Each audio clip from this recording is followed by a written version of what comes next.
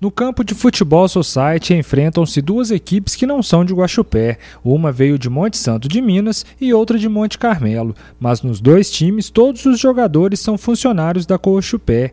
Essa integração foi possível graças à primeira edição dos Jogos dos Colaboradores, promovido pela cooperativa.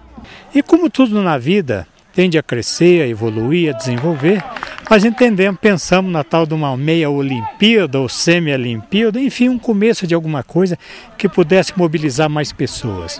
E foi aí que nasceu a ideia de realizar este evento. E a data agora, ela vem a calhar, porque hoje é o dia do trabalho que se comemora, então nada mais justo. Os jogadores de Monte Carmelo, para participarem dos jogos dos colaboradores e prestigiarem o evento da empresa em que trabalham, viajaram cerca de 500 quilômetros. Ah, são sete horas de viagem, né? nós saímos ontem às 5h20, chegamos aqui praticamente meia-noite. Eu espero que seja uma tradição, que a partir de todo ano agora, como é promessa da diretoria, cada vez vai engrandecer mais isso aqui.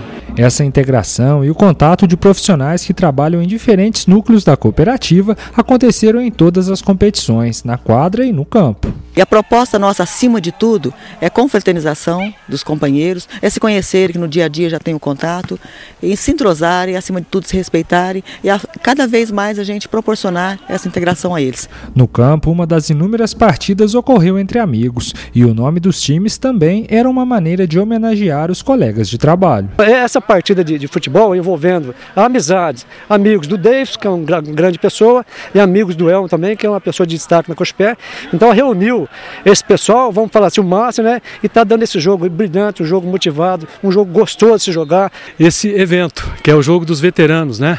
Os amigos do Davis, os amigos do, do Elmo, para que a gente possa divertir nesse dia do trabalho, divertindo. Né? E nós, como funcionários, ficamos muito satisfeitos pela empresa promover isso. Enquanto os adultos competem no campo, as crianças, muitos filhos de funcionários, também se divertem. É legal. Meu pai trouxe, ó, ele falou que ia jogar bola. Meu pai veio comigo. Tava ali em cima, aí já lhe deu pra escutar o barulho e eu vim correndo. Valeu a pena. Valeu. Cerca de 350 funcionários da cooperativa participaram dos jogos, vindo de núcleos como Coromandel, Carmo do Rio Claro, entre outros. E trouxemos esse pessoal para, nesses dois dias, terem uma confraternização entre o pessoal daqui e o pessoal de fora, e uma confraternização também entre os departamentos da Cochupé, é, sintetizando o, o, o, dia dos trabalhadores, né, para que tudo, tudo corra na maior tranquilidade, na maior paz, num ambiente muito tranquilo, que na segunda-feira a gente possa voltar a trabalhar com, com, conforme a cooperativa quer.